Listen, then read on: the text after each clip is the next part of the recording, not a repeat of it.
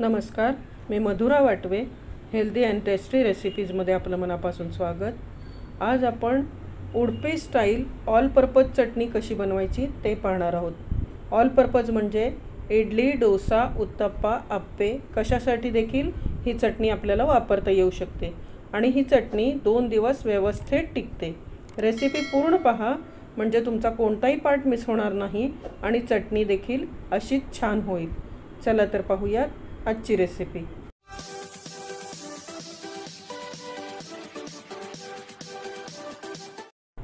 Udupi style all purpose चटणी बनवण्यासाठी इथं मी डाळं आणि शेंगदाणे रात्रभर पाण्यात भिजत घातलेले होते.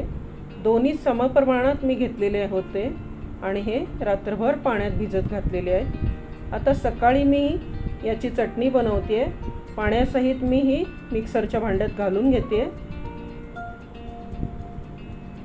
पाण्यात भिजवल्यामुळं ती चटणी एक जीव होते व्यवस्थित मिळून येते.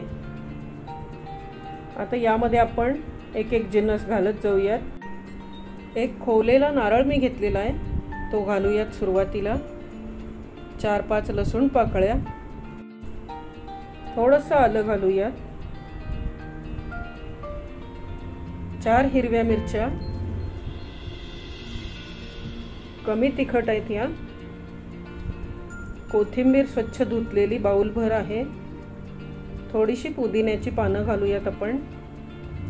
ती देखील मी स्वच्छ करून घेतलेली आहे.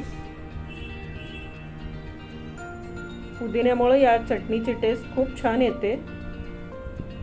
आता यामध्ये आवडीप्रमाणे मीठ घालूयात.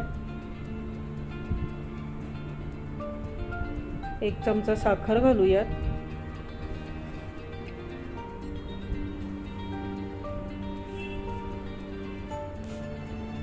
आणि अगदी थोडं थोडं पाणी घालत आपण हे मिक्सरमधनं फिरवून घेऊयात. याला पाणी जास्त घालायचं नाही आहे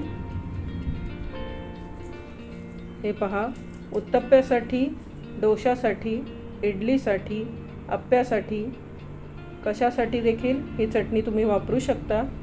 यामध्ये दही किंवा ताक तुम्हाला आवडत असेल त्याच दिवशी संपवणार असाल तरच घालायचं आहे जर दोन दिवस टिकवायचं असेल तर यामध्ये दही ताक अजिबात घालायचं नाही आहे ही चटणी अशी सुद्धा खूप छान लागते. आता जसं लागेल तसं आपण ही चटणी पातळ करून घ्यायची आहे. किंवा अशी सुद्धा खाल्ली तरी खूप छान लागते. मी थोडंसं पाणी घालणार आहे यामध्ये. अगदी थोडं पाणी घालते मी. एक जीव करून घेऊयात व्यवस्थित मिक्स करूयात.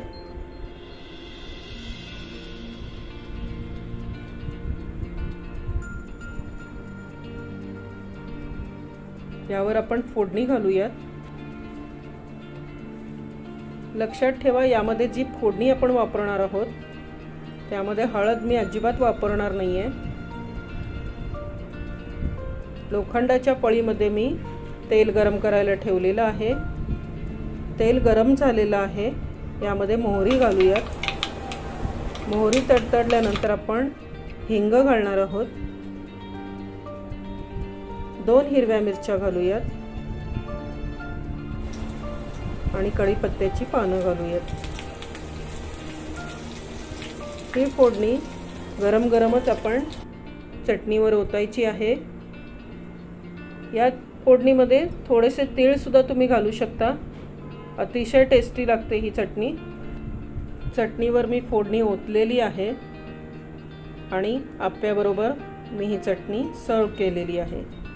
रेसिपी कशी वाटली ते मला कमेंटमध्ये जरूर सांगा. आवडल्यास लाईक करा. जास्तीत जास्त लोकांपर्यंत शेअर करा. अजूनही चॅनलला सबस्क्राईब केलेलं नसेल तर सबस्क्राईब करा आणि बेल आयकॉनवरती क्लिक करा. म्हणजे माझ्या पुढच्या रेसिपीच्या नोटिफिकेशन तुम्हाला आधी मिळतील. अशा पद्धतीने चटणी करून पहा आणि चटणी कशी झाली ते मला कमेंटमध्ये जरूर सांगा. भेटूया पुन्हा अशाच छानशा रेसिपीमध्ये तोपर्यंत कोणताही पदार्थ घरीच बनवा.